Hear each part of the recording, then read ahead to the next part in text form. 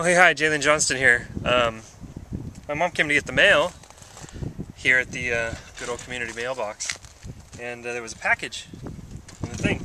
So, uh, you know, opened it up. Well, I don't know if you can see this, but uh, it's pretty much the exact size of the box, uh, minus a couple millimeters.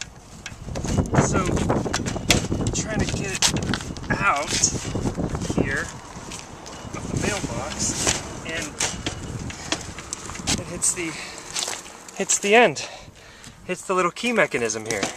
So there's kind of no way to get everything out of the.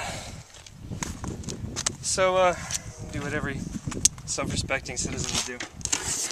Just open the box. Whatever it is, it's fragile. Oh, I see packing peanuts.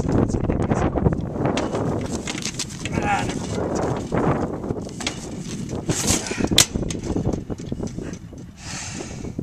God bless the U.S. Postal Service. Okay, bye.